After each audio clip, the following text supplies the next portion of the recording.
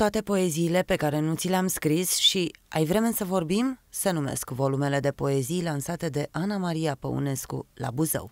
Vă invit să-mi citiți poezia, vă invit să-mi înțelegeți trăirile, să mă iertați dacă greșesc, să mă înțelegeți dacă mă mai bâlbâi și la orice întâlnire viitoare să fiți la fel de buni cu mine cum sunteți astăzi. Autoarea a citit din poeziile sale. S-a stins cenușa, cad în somn imagini cu oameni vii ce uită că sunt vii, se mai aud pe afară cai și arme și mame în dispensare nasc copii. Încep doar ei să plângă drama casei, din corpuri cade lacrima stingher, mai cer o mângâiere întomnată și liniște în pleoape ei mai cer.